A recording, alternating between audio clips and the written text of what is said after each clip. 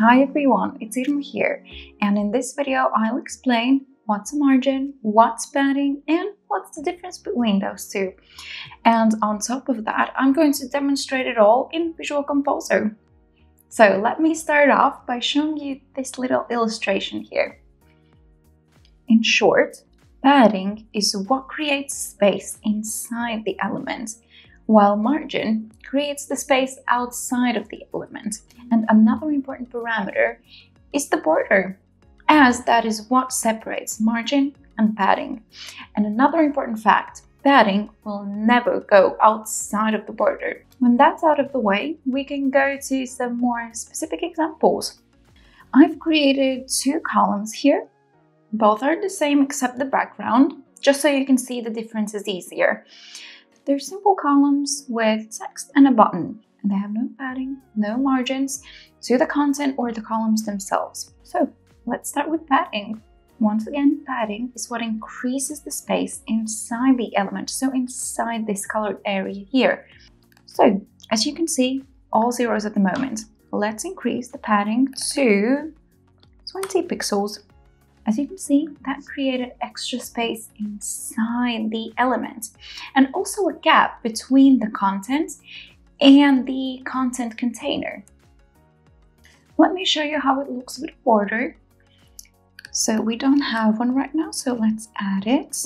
So that's how it looks with the 20 pixel padding and here's how it looks without. Without and with padding.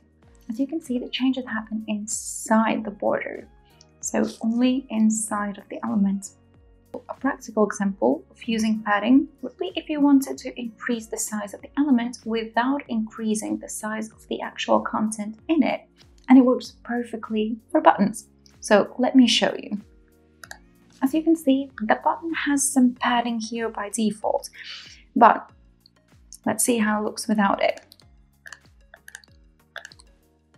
Not pretty.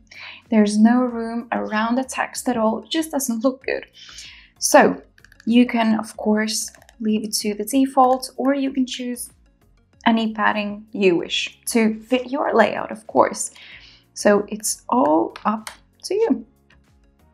Another thing you could use padding for is if you want to show more or less of your background image. I have these two blog posts here and I want to show the whole CAD. So uh, what I would do in this case is just add padding to the bottom. Let's do that. That looks much better, right? So time to move on to margin. Let's open up this example row here and move on to the second column. So a reminder, margin is what increases the space outside of the element. So let's get straight to it. Zero at the moment and 20 pixels is what we're going to add. You see that? It increased the space outside of the element and actually outside of the border as well. So let me add it here. As you can see, that's with 20 pixel margin and now without it. You see that? The movement happens outside of it. As you can see, the color that increased is not the color inside the content block, but the color outside of it. You most commonly would use margin to create a gap between elements. Let me show you what I mean exactly. I've got these three beautiful products here, but they're in a desperate need for some breathing room. So that's what I'm going to give them. Of course, with margins. I'm going to add 30 pixel margin to both sides here to all of my elements.